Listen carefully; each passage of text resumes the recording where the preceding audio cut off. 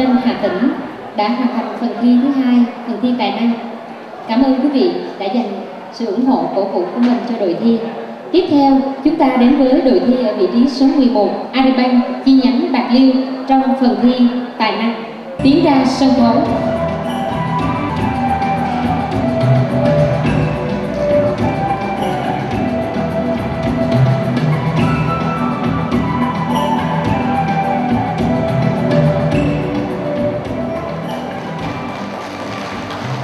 Mời đội trưởng tiến về vị trí chậm đề. Bộ đề số 1.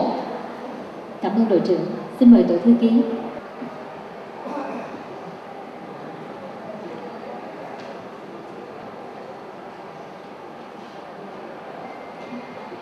Thời gian chuẩn bị bắt đầu.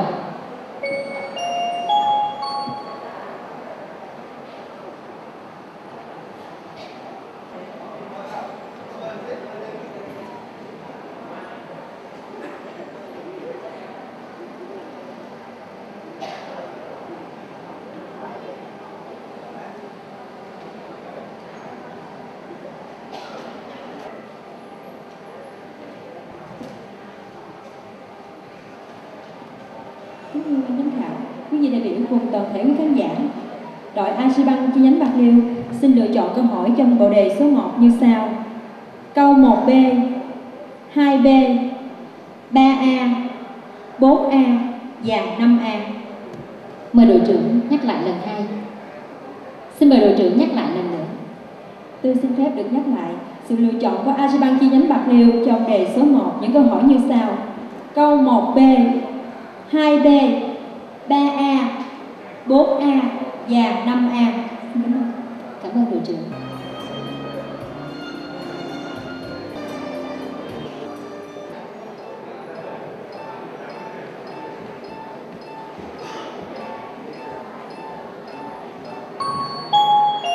Thời gian chuẩn bị đã hết. Mời đội đưa ra đáp án cho bộ đề số 1.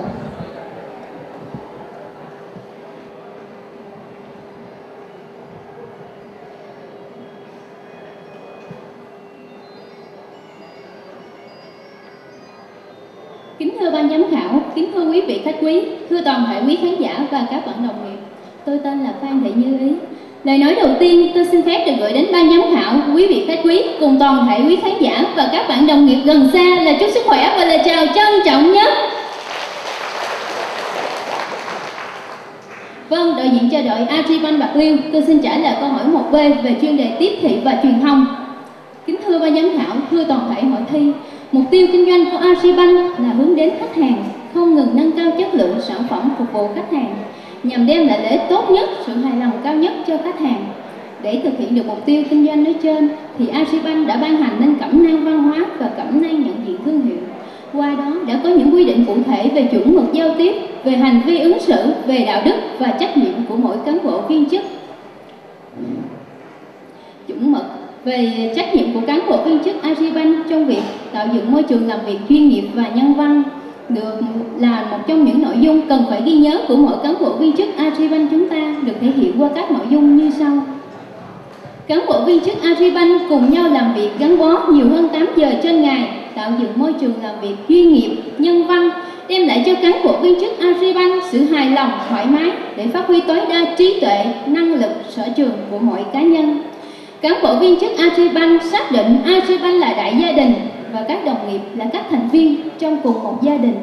Cùng nhau làm việc dưới mái nhà chung Agribank, cán bộ viên chức Agribank luôn tôn trọng nhau, hiểu nhau, quan tâm đến ý kiến của đồng nghiệp, có ý thức giữ gìn thông tin cá nhân, bảo vệ danh dự uy tín đồng nghiệp, biết trân trọng những điều hay, tuyệt đối không nói xấu, nói sai sự thật và pha đồng nghiệp, biết học hỏi những điều hay từ đồng nghiệp, chân thành, độ lượng và góp ý đúng lúc, đúng nơi đối với những sai sót, khuyết điểm của đồng nghiệp, thẳng thắn, khách quan trong nhận xét đánh giá đồng nghiệp.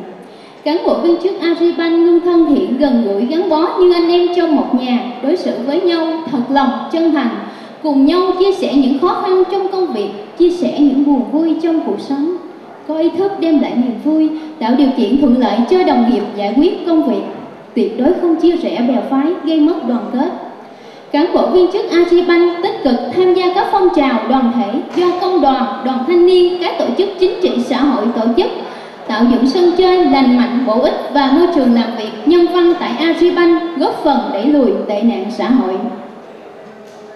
Kính thưa ban giám khảo, thưa toàn thể hội thi, để góp phần cùng với Agribank thực hiện tốt chiến lược kinh doanh của mình, thì mỗi cán bộ viên chức Agribank chúng ta cần phải thực hiện tốt trách nhiệm của mỗi người tự giác học tập để nâng cao trình độ hiểu biết về nghiệp vụ, chuyên môn, đẩy mạnh rèn luyện đạo đức để nâng cao trình độ hiểu biết và gia tăng đáp ứng yêu cầu của khách hàng, đối tác thông qua việc cung ứng các sản phẩm, dịch vụ tiện ích hiện đại. Với thái độ và tác phong phục vụ ân cần nhất, chu đáo nhất là vui lòng khách đến, vừa lòng khách đi kính thưa ban giám khảo thưa toàn thể hội thi nội dung trả lời câu hỏi của tôi đến đây là hết Tôi xin chân thành cảm ơn sự chú ý lắng nghe của ban giám khảo, quý vị khách quý cùng toàn thể hội thi. Một lần nữa, tôi xin phép được gửi đến ban giám khảo, quý vị khách quý cùng toàn thể hội thi lời chúc sức khỏe và xin chúc hội thi được thành công tốt đẹp. Và sau đây tôi xin được mời thành viên tiếp theo của đội lên trả lời câu hỏi. Kính thưa ban giám khảo, kính thưa toàn thể hội thi, tôi tên Nguyễn Thị Ái Duyên, Xin được trả lời câu hỏi tiếp theo của đội Bạc Liêu. Câu hỏi của tôi là câu 2B thuộc chuyên đề tính dục. Có nội dung câu hỏi về 10 nội dung mới và quan trọng tại quyết định 66 so với quyết định 666. Tôi xin phép được trả lời. một Khái niệm nội dung về thẩm định, tái thẩm định, người thẩm định, khoản vay, người kiểm soát khoản vay, người phê duyệt khoản vay và người quản lý khoản vay. Hai, quy trình xét duyệt khoản vay phải thực hiện qua, qua ba câu độc lập người thẩm định khoản vay tức là người trình, người kiểm soát khoản vay và người phê duyệt khoản vay. 3. Phân định rõ trách nhiệm của từng người trong việc cho vay, phân công giao dịch viên theo dõi hạch toán cho vay thu nợ và quy định rõ việc thẩm định quyết định cho vay được thực hiện tại Agribank nơi cho vay và tái thẩm định phê duyệt vượt thẩm quyền được thực hiện ở nơi phê duyệt vượt thẩm quyền. 4. Thay đổi một số nội dung trong điều kiện về khả năng tài chính của khách hàng. 5. Quy định về hội đồng tín dụng những trường hợp phải thông qua hội đồng tín dụng 6. Quy định về giải ngân vốn vay, trong đó quy định từ lần thứ hai phải lập báo cáo đề xuất giải ngân. 7. Quy định về cho vay bù đắp tài chính. 8. Quy định về kiểm tra giám sát sau khi cho vay, trong đó quy định các lần kiểm tra và giám sát tiếp theo giao cho giám đốc chi nhánh nơi cho vay chỉ đạo thực hiện bảo đảm các bộ quản lý khoản vay phải nắm bắt được tình hình sử dụng vốn vay hoạt động kinh doanh của khách hàng để đề xuất cho vay tiếp hay xử lý thu hồi nợ 9. Quy định về quản lý khoản vay thuộc quyền quyết định cho vay của chi nhánh vào phòng giao dịch 10. Phân biệt về quản lý và lưu trữ hồ sơ cho vay phân công các bộ quản lý hồ sơ và các loại tài liệu hồ sơ phải lưu trữ Kính thưa ban giám khảo, thưa toàn thể hội thi, nội dung trả lời câu hỏi của tôi đến đây là hết. Tôi xin cảm ơn sự chú ý lắng nghe của ban giám khảo cùng toàn thể quý vị. Sau đây tôi xin giới thiệu thành viên tiếp theo của đội lên trả lời câu hỏi. Thưa quý đại biểu, thưa toàn thể quý khán giả cùng các bạn đồng nghiệp, tôi tên Nguyễn Như Trúc Thư, xin thay mặt đội Agribank Bạc Liêu trả lời câu hỏi số 5A chuyên đề sản phẩm dịch vụ. Kính thưa ban giám khảo, phát triển sản phẩm dịch vụ ngân hàng hiện đại là lĩnh vực mà trong nhiều năm qua luôn được đánh giá là một trong những công tác trọng tâm có ý nghĩa quyết định đối với mục tiêu và chiến lược phát triển dài hạn của các ngân hàng để thu hút khách hàng, mở rộng thị phần và thị trường kinh doanh, Agribank luôn chú trọng phát triển mạng lưới và phát triển các sản phẩm, dịch vụ mới có tiện ích ngày càng hoàn thiện và hiện đại nhằm đáp ứng tốt nhất nhu cầu của khách hàng. Vì thế, đẩy mạnh phát triển sản phẩm dịch vụ có vai trò rất quan trọng đối với hoạt động kinh doanh của Agribank trong giai đoạn hiện nay. Kính thưa ban giám khảo cùng toàn thể quý vị, Agribank cần phải đẩy mạnh phát triển sản phẩm dịch vụ trong giai đoạn hiện nay vì những lý do sau. Thứ nhất, đó là do tính tất yếu được sự phát triển của ngân hàng. Kinh tế phát triển, thu nhập của người dân ngày càng được cải thiện, dẫn đến nhu cầu của khách hàng về sản phẩm dịch vụ ngân hàng ngày càng tăng. Bên cạnh đó, do sự thay đổi tập quán, thói quen của người dân cùng với sự phát triển của công nghệ thông tin đã dẫn đến xu thế sử dụng công nghệ hiện đại trong hoạt động kinh doanh cũng như là trong đời sống ngày càng tăng. Ngoài nhu cầu sử dụng các sản phẩm dịch vụ ngân hàng truyền thống, khách hàng còn có nhu cầu sử dụng các sản phẩm dịch vụ ngân hàng hiện đại, dịch vụ tài chính trọn gói. Việc cung cấp các sản phẩm dịch vụ ngân hàng hoàn hảo, bao gồm cả truyền thống và hiện đại là vấn đề hết sức quan trọng của các ngân hàng thương mại, đòi hỏi các ngân hàng nói chung cũng như Agribank nói riêng cũng phải đáp ứng với xu thế phát triển này. Lý do thứ hai đó là do sự cạnh tranh ngày càng gay gắt trong hệ thống ngân gia nhập WTO, các rào cản về bảo hộ trong nước đối với lĩnh vực tài chính ngân hàng dần được dỡ bỏ. Các ngân hàng trong và ngoài nước đều cạnh tranh bình đẳng tại thị trường Việt Nam. Bên cạnh đó, hiện nay thị trường ngân hàng có một số lượng lớn các ngân hàng thương mại đang hoạt động tại Việt Nam. Để tồn tại, các ngân hàng đều gia tăng phát triển mạng lưới, mở rộng địa bàn hoạt động kể cả địa bàn nông thôn và đẩy mạnh phát triển sản phẩm dịch vụ dẫn đến sự cạnh tranh trong lĩnh vực dịch vụ của hệ thống ngân hàng ngày càng gay gắt. Lý do thứ ba đó là do xuất phát từ yêu cầu nội tại của Agribank. Trong bối cảnh suy thoái kinh tế, khủng hoảng tài chính toàn cầu cùng với những khó khăn của nền kinh tế Việt Nam, tại nhiều thời điểm Agribank phải đối mặt với những khó khăn về vốn, thanh khoản, mở rộng tín dụng và nợ xấu tăng cao. Điều này đòi hỏi Agribank phải đa dạng hóa nội dung hoạt động và đẩy mạnh phát triển sản phẩm dịch vụ nhằm giảm rủi ro, giảm chi phí, tăng tỷ trọng thu nhập từ sản phẩm dịch vụ, giảm bớt sự phụ thuộc vào hoạt động tín dụng. Và lý do cuối cùng đó là Agribank có những yếu tố và điều kiện thuận lợi để đẩy mạnh phát triển sản phẩm dịch vụ. Agribank là ngân hàng có vốn điều lệ lớn, mạng lưới hoạt động rộng, có nguồn nhân lực và cơ sở khách hàng lớn, có uy tín và thương hiệu lâu năm trên thị trường, giữ vị thế chủ đạo trong việc cung cấp các sản phẩm dịch vụ ngân hàng trong lĩnh vực nông nghiệp và nông thôn. Cơ sở hạ tầng công nghệ thông tin ngày càng được đầu tư và nâng cấp đáng kể.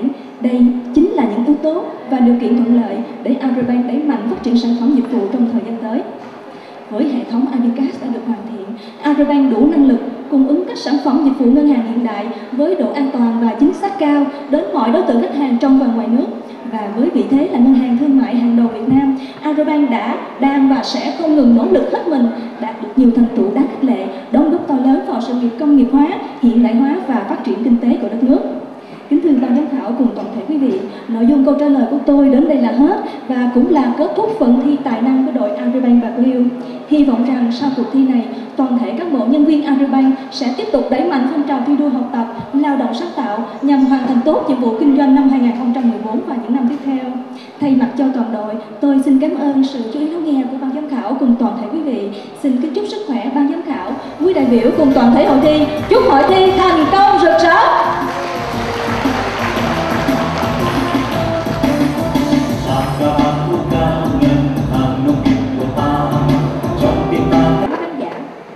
Năng khiếu của đội Asiban chi nhánh Bạc Liêu xin được phép bắt đầu.